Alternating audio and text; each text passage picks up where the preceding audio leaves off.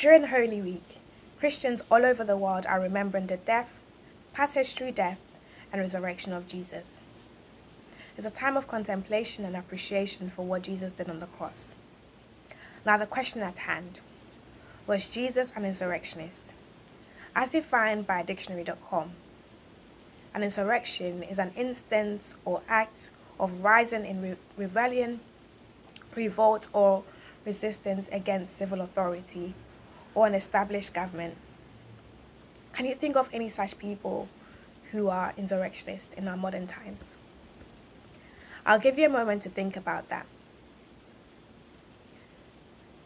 And in thinking about that, what authority do these people really carry? Now, in the Bible, as recorded in the four Gospels, we see an actual convicted insurrectionist in the picture Barabbas. And taking my scripture reading from the book of Luke, chapter 23, verse 18 and 19, it says, But the whole crowd shouted, Away with this man! Release Barabbas to us. Now it says, Barabbas had been thrown into prison for an insurrection in the city and for murder. So, this was the actual convicted criminal that the enemies of Jesus protested to be released at that moment. But did Jesus ever commit murder? No, in fact, he raised the dead. Did Jesus ever steal? No, in fact, he actually encouraged thieves to steal no more. Did Jesus stir up an uprising? I highly doubt it. Jesus was constantly looking, looking for a way to be away from the crowds. And in fact, he always taught about righteousness and the kingdom of God. So Jesus was definitely not an insurrectionist. And I can think of no valid reason why Jesus should be arrested, convicted, or sentenced to imprisonment, let alone death. So, what was his crime? In fact, he had none.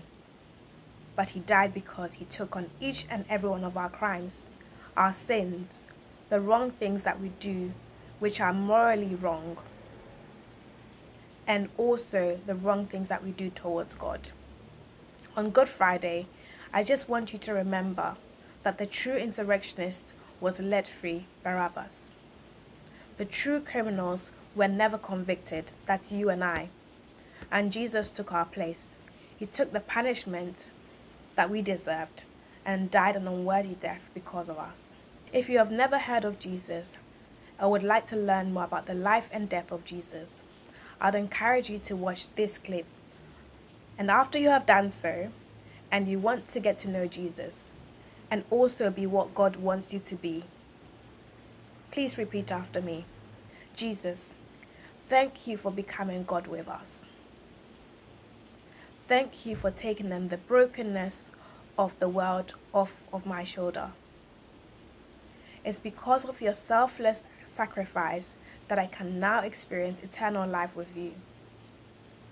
Today I receive your free gift of salvation and I invite you to heal me and to forgive me I want to spend the rest of my life becoming more like you. In Jesus' name, Amen. If you have just said this prayer and you meant it in your heart, you have just become a Christian. You have received God into your life. I'd encourage you to visit websites. Thank you for watching this video clip. I'll be super grateful for your support by subscribing to my YouTube channel and also my blog. You'll find the links in the description. You can also find me on social media in the links provided in the description. I look forward to sharing with you again. Until next time, my name is Claudia, and this is Intraordinary. Life, faith, travels, and more. Take care.